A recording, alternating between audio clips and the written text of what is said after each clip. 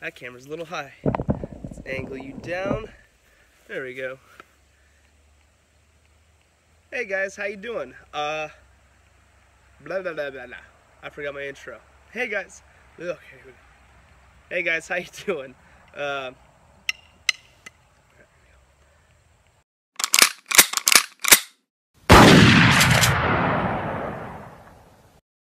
Hey guys, how you doing? So, I don't know if you guys remember when uh, The Walking Dead, they shot Negan's baseball bat, Demolition Ranch, Edwin Sarsky, I can't pronounce his name, I don't know how to. They shot wooden baseball bats, and I was like, I googled, well YouTube searched, what happens if you shoot a metal baseball bat? Couldn't find anything. I have a metal baseball bat. It's an Easton, and I think that's a better brand of baseball bat, so some of you guys might hate me for shooting this thing. But I want to see if it will stop a 9 mil. Well, a bunch of different, well, three different ammo types. I got 22, 9 mil, and 357 with me today. And I want to see if this thing will stop any of them. And then at the very end, I want to shoot the very top of it because this is like a little plastic thing.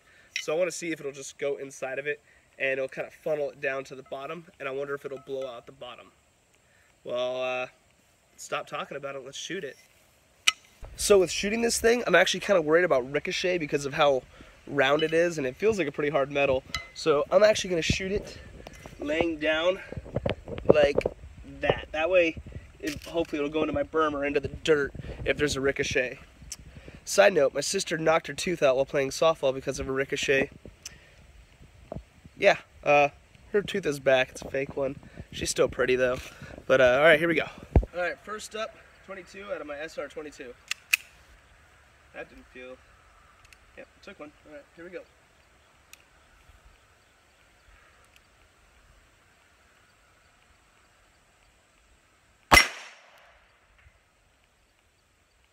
I hit it, and I heard the ricochet off my fence. So it's doing what I thought it was going to do. I'm actually going to change my berm up a little bit so I don't have any bullets flying too far that way. Okay guys, uh, you can see I drilled that thing right there on the top of the tee and it didn't go through. Left a pretty good dent though. Uh, I've got high hopes for this uh, 9 mil. I changed my berm up a little bit so it's more under cover because I really don't want to send ricochets too far. Something else I didn't think about too much was uh, the 9 mil is important because I think it was a 9 mil that they tried to shoot Negan with. So the wooden baseball bat stopped it. Let's see if the aluminum one will. Glock 17. Yep. All right, here we go. See if I can get a really square shot so there's no ricochet.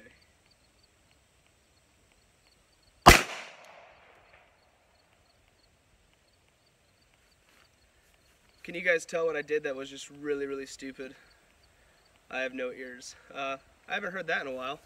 That was really loud. it wasn't too bad, but my ears are ringing. Saucy. Why didn't you guys tell me I didn't have earplugs on? That was so loud. Okay, the 9 mil blew straight through that thing. So, I don't really think there's a reason to shoot the 357 at it, like at that angle. So, I'm just going to shoot the 357 at the front like that, because I feel like the bottom of it, I don't know if that's full metal or if this is just like a plastic plug on the bottom. But we're going to find out right now. We're going to find out together. All right. So think I'm going to take a shot at it like that right about this distance. I think that'll give us the best chance at catching it and sending it down the baseball bat like a tube. Let's wear ear pro this time. I am not doing that again. Which pocket is it in? All right, 357 Magnum out of the Taurus 605. I think we got this. I jump a lot when I shoot this gun, so I anticipate my shot, so they're not the most accurate, but I'm pretty close. I think we're gonna be able to get it.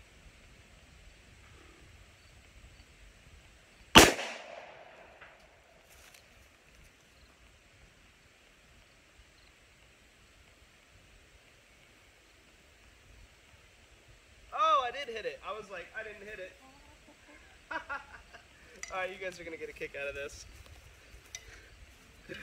Oh, that was fun. Wow.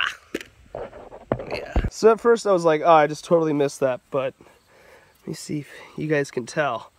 There's a little hole in that rubber right there at my fingertip. It opened up and it closed right back up. But anyways, it did exactly what we needed it to. It went down the bat. I don't feel any bulges anywhere. So I think it, yeah, I don't feel anything. But it popped out right there at the bottom. It went down. Let's see we can see sunlight from the 9 mil through it. Yeah, there you guys go. That's what the inside of a Easton baseball bat looks like. Well guys, I want to thank you again for watching today. Hope you kind of enjoyed watching me ruin what I'm guessing was like a $50 baseball bat. But uh, I had a lot of fun. Uh, it'll stop at 22. Won't stop at 9 mil, and I guarantee it won't stop at 357 Magnum. Also, shout out to Brittany Fife. She made that intro you guys just saw. That's a new intro. Uh, she does great work. If you guys want any uh, graphic work done or animation work or any type of, uh, she makes music videos too. Hit her up. I'm going to put all of her info in the link below. Don't forget to like, subscribe, and I will see you guys next time. All right, bye.